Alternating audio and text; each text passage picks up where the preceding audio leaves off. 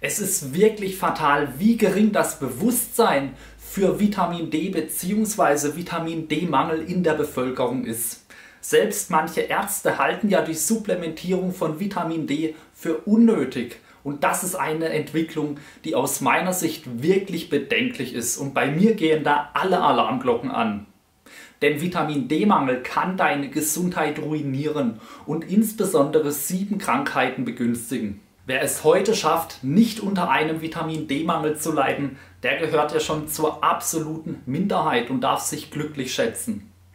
Auch wenn heute mittlerweile einiges an Aufklärung betrieben wird, ist das insgesamt aber auch nur ein kleiner Tropfen auf den heißen Stein. Die Grippe bzw. Erkältung hat ihre Hochkonjunktur zwischen den Monaten November und etwa Februar, März.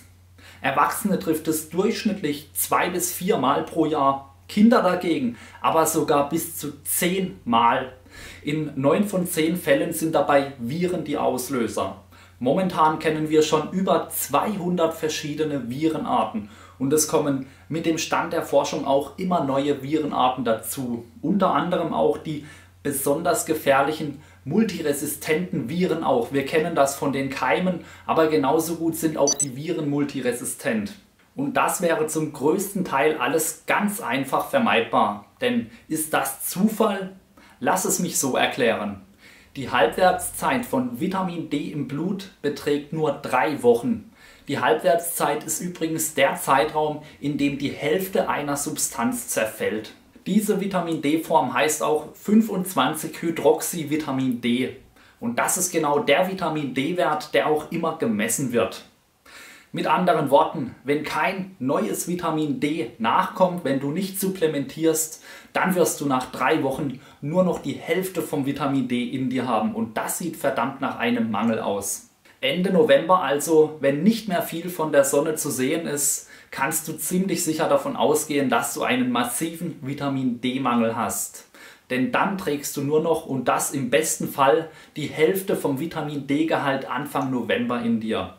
Aber wie gesagt, auch nur dann, wenn deine Vitamin D-Speicher Anfang November wirklich gut gefüllt waren. Und hier sind wir auch schon beim nächsten Problem. Denn die Wahrscheinlichkeit hierfür ist nicht unbedingt sehr hoch. Cremst du dich im Sommer mit einem Sonnenschutz ein, wenn du rausgehst? Dein gesundheitlicher Gedanke ist hier ja absolut löblich.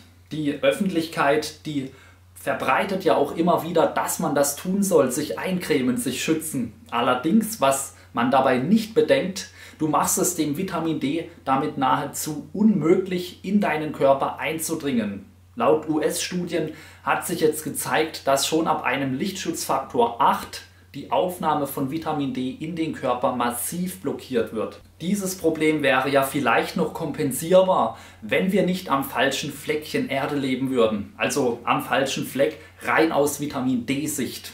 Denn zwischen den Monaten Oktober und auch März in diesem Zeitraum steht die Sonne einfach nicht hoch genug, damit die Strahlung stark genug ist damit unser Körper selbstständig Vitamin D herstellen kann. Denn unser Körper ist ja grundsätzlich bei den richtigen Rahmenbedingungen in der Lage, aus Cholesterin das Hormon Vitamin D am Ende dann die aktive Form Vitamin D3 herzustellen. Kennst du eigentlich schon den Vitamin D Schattentest?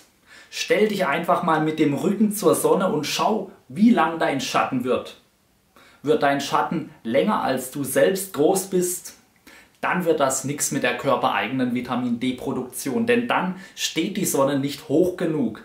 Wenn dein Schatten allerdings kürzer ist als du selbst, dann hast du gute Chancen. Es gibt bestimmte Personengruppen, die ein besonders hohes Risiko haben, an einem Vitamin D-Mangel zu erkranken. Hör also gut zu und schau, ob auch du zu diesen Personengruppen gehörst. Zunächst mal haben wir die älteren Leute, denn bei ihnen bildet der Körper bis zu 65% weniger körpereigenes Vitamin D. Problematisch für die Vitamin D-Aufnahme ist ein zu hoher Lichtschutzfaktor.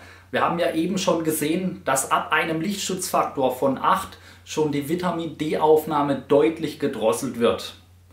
Bei einem Lichtschutzfaktor 20 oder größer kannst du dann schon mit ziemlicher Sicherheit davon ausgehen, dass nichts mehr in deinem Körper ankommt. Besonders gefährdet sind auch Menschen mit dunkler Hautfarbe, denn sie haben einen besonders hohen Bedarf. Sie sind auch deshalb 71 mal häufiger von Vitamin D-Mangel betroffen. Ich fände es daher besonders interessant, wenn wir mal eine Gruppe von Einwanderern, dunkelhäutigen Einwanderern nehmen würden, die heute nach Deutschland kommt und diese über einen längeren Zeitraum oder selbst nur ein Jahr beobachten, was ihren Vitamin D-Spiegel betrifft. Denn die Wahrscheinlichkeit ist sehr hoch, dass diese Gruppe nach einem Jahr spätestens einen deutlichen Vitamin D-Mangel hat.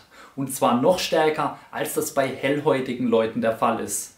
Denn bei ihnen ist die besondere Situation, sie kommen aus einem Land, wo sie noch relativ gut mit Sonne versorgt sind und haben schon dort vermutlich Probleme, ihren Vitamin D-Spiegel zu decken und kommen jetzt in ein Land, wo ein viel geringere Sonneneinstrahlung herrscht und die Wahrscheinlichkeit für Vitamin D-Mangel exorbitant ansteigt allen dunkelhäutigen Einwanderern müssten wir neben einem Integrationsprogramm eigentlich auch erstmal in allererster Linie ein Vitamin D-Programm verordnen.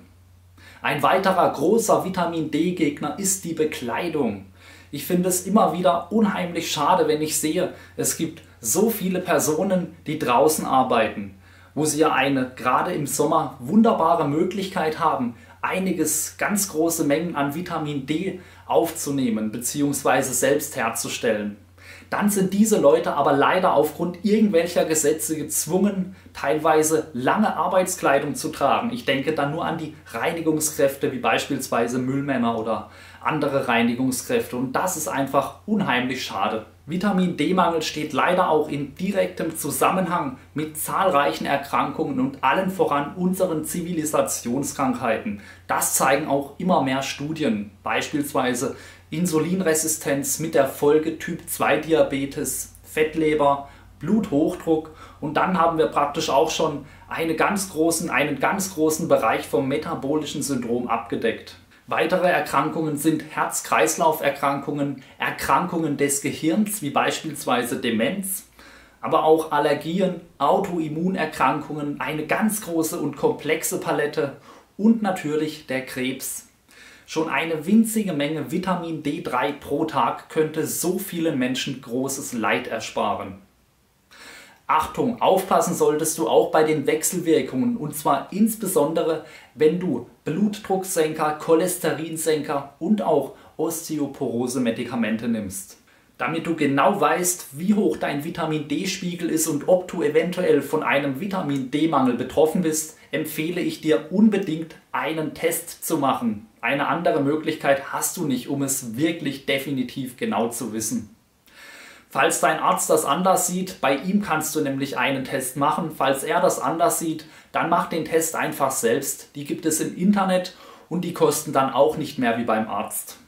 Und falls dein Arzt wirklich dagegen ist, dann solltest du dir vielleicht auch noch überlegen, gleich den Arzt zu wechseln. Was deinen Vitamin D-Gehalt betrifft, da solltest du schauen, dass du mindestens 60 Nanogramm pro Milliliter erreichst. Eine ganz aktuelle Studie hat gezeigt, dass eine höhere Dosierung, sie hat hier 80 Nanogramm pro Milliliter untersucht, dass dies vorteilhaft ist. Also im besten Fall kommst du dann eben auf 80 Nanogramm pro Milliliter. Was die Einnahme betrifft, da orientiere ich mich bei der Dosierung immer an etwa 50 bis 60 Einheiten pro Kilogramm Körpergewicht. Also in meinem Fall sind das dann um die 4000 Einheiten pro Tag und das solltest du schon gucken, dass du das auch einnimmst. Das passt sowieso ganz gut, denn die meisten Präparate, die ermöglichen eine Einnahme von 5000 Einheiten mit einer Dosis. Also bei mir beispielsweise, ich nehme das Ganze hochdosiert in Tropfenform. Hier brauche ich nur einen einzigen Tropfen und habe dann 5000 Einheiten. Klicke jetzt hier und schau dir dieses Video an über dieses Getränk, das deine Arterien von Ablagerungen befreit.